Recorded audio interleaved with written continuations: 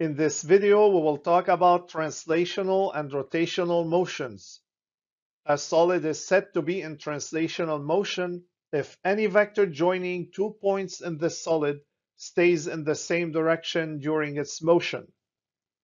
In a translational motion, all the particles in the same solid have the same velocity at the same instant.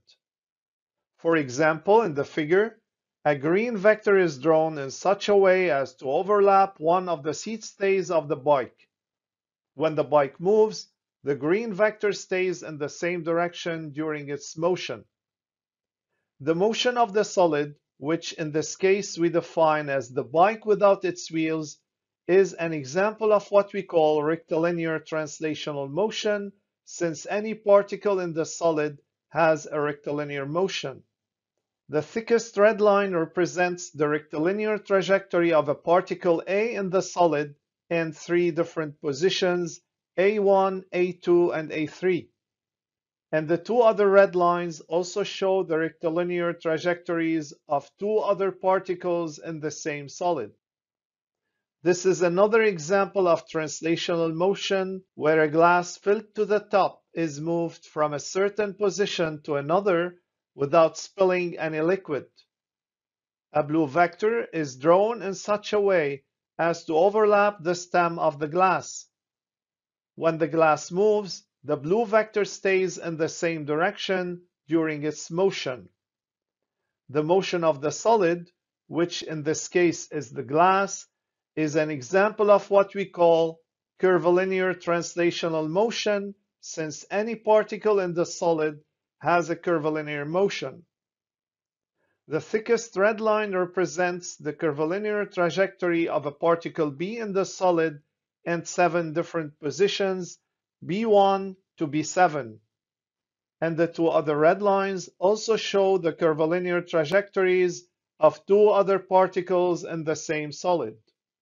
This is also another example of a translational motion where the cabin of a Ferris wheel is driven by the motion of the wheel.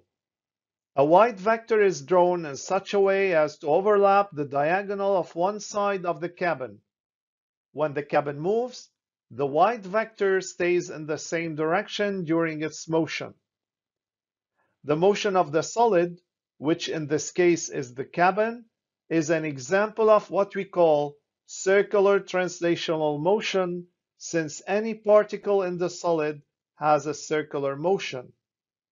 The red circle represents the circular trajectory of a particle C in the solid and four different positions C1, C2, C3, and C4.